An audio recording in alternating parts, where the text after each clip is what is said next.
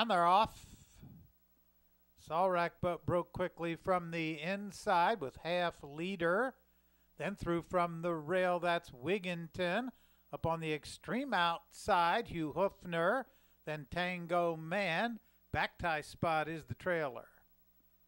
Down the back stretch, Wigginton from the inside has the lead a half length. Solrak second ahead. Hugh Hoofner on the outside third.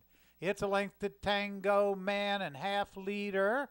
Gap of eight more lengths. Back tie spot trails 23 and 2. For the opening quarter, Wigginton is in front. Has it now by three lengths. Hugh Hoofner on the outside takes second. On the inside, Solrak runs third. Then it's Tango Man, half leader.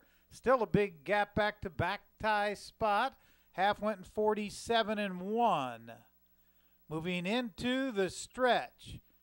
Wigginton has the lead, but now up on the outside, Hugh Hoofner gains. Also moving up, that's half leader. Center of the track, it's Tango Man. Hugh Hoofner, half leader. Tango Man on the outside, half leader. Now gets the lead and half leader wins it by almost a length. Photo for second. Maybe Hugh Hoofner over Tango Man. That will take a photo. Then Wigginton.